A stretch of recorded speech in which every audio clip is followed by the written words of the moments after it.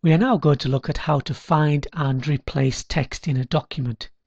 Imagine, if you will, that you've spent a long time typing up your document, as we have this document on the screen, and you've typed the word fox when really you meant rabbit. So rather than going through the document looking for every instance of the word fox and retyping it, because we might make a mistake, we can use find and replace. We're going to work with find first, and for that we use edit and drop down to find.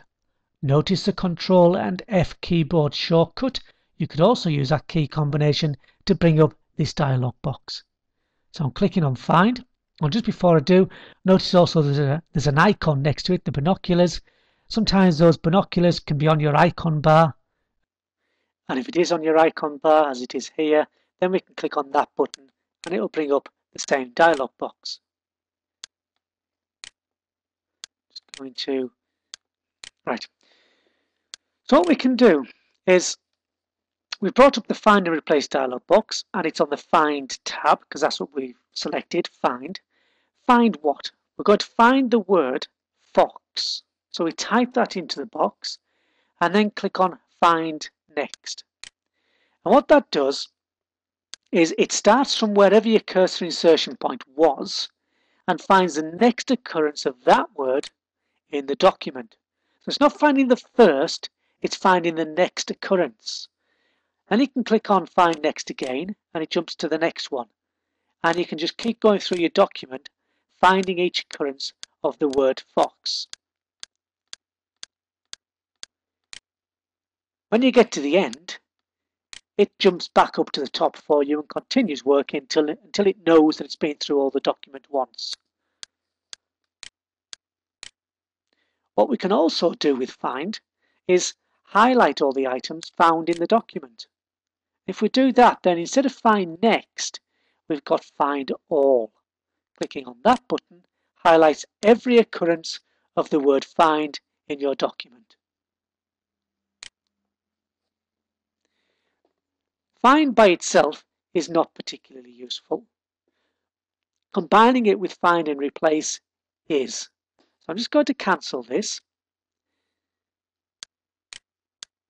And instead of doing edit find, we're going to do edit replace.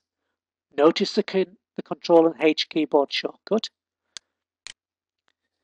Okay, so we've got the find and replace dialog box here.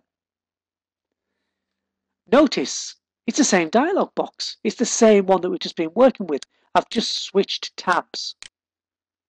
We were working with find. We're now working with replace. Remove that tick.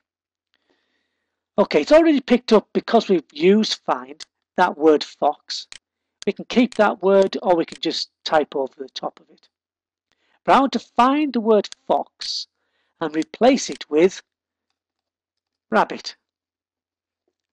So what we can then do is again click on find next and it jumps to the next occurrence of the word fox. Then we've got an option to replace that word. If I click on replace, it will replace the word fox with rabbit and then immediately find the next occurrence of the word fox. Let's try it. Click replace. It's replaced that word there to rabbit and it's jumped to find the next fox. I'll replace that one. And again, it's replaced the word fox with rabbit and jump to the next occurrence. If we are confident, but before I say that, what we can then do is, if that particular instance of the word fox we don't want to change, we don't have to click replace, we can go straight to find next. And it leaves that one and then jumps to the next one. So as we go through the document, we can replace or find the next occurrence. What we can do, if we're reasonably confident that we want to replace every occurrence, we can click Replace All. And that will go through the document and replace every occurrence of the word fox with rabbit, in this instance 23. Click on OK. If we close that down, we should be able to see that there is no longer a fox there, they are all rabbits. So that's edit, replace, tell it what we want to find and what we want to replace it with. And then make a choice whether to replace, ignore, or replace all of those occurrences. But be careful. Let me show you something. Instead of doing find replace, I'm just going to do find. I want to find the word the, and I want to highlight all the words the in the document. Then click find all.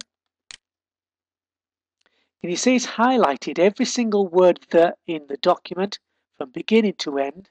But look at this bottom one. It hasn't found the word the, it's found the word there. If I did a find replace, it would replace those three letters of the word there, which obviously would not be what we want to do. So you do have to be careful. What I usually do and again, this isn't strictly in the syllabus, but we'll show you this anyway. If I click the More button, and from these options choose Find Whole Words Only, then it'll only find the whole word the. Let's highlight them again and click on Find All. And this time, if I close that down, it hasn't found the word there. So that's find and replace you can use the toolbar icon or you can do edit and choose either find or replace because it's the same dialog box it's just that your starting point is different find what type the word in if you want to use replace type the word in